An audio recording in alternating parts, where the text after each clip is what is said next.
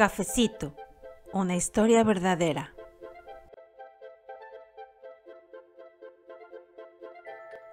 Instrucciones. Lee cada frase y elige el verbo que completa la idea. Verifica tus respuestas con el audio.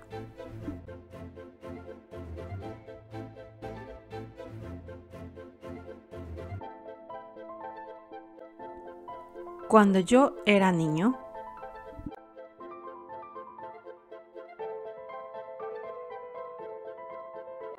tenía un perro que se llamaba Cafecito.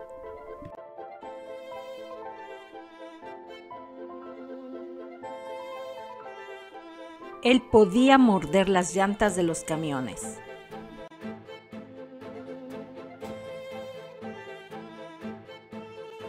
Y por eso todos pensaban que era muy agresivo.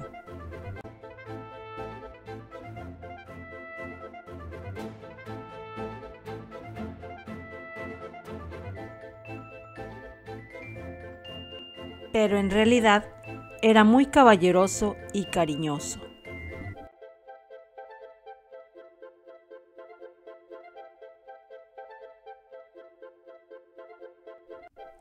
Cafecito dejaba que los otros perros y gatos comieran primero.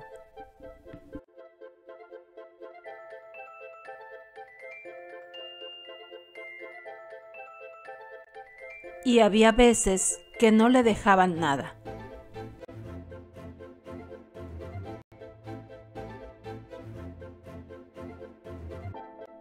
Entonces me veía con sus ojos llenos de esperanza.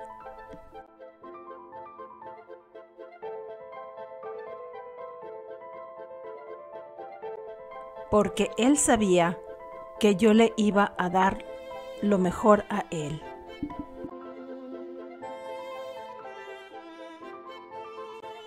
Responde sí o no. ¿Sabemos en qué año sucedió esta historia? No.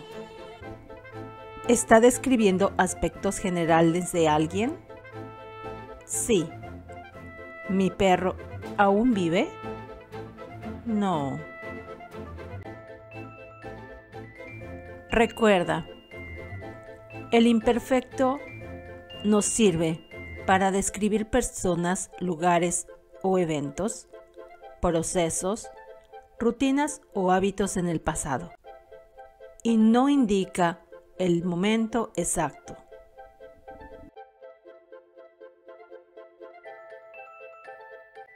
Escribe en los comentarios si te gustó esta actividad. Gracias por suscribirte y seguir nuestro canal.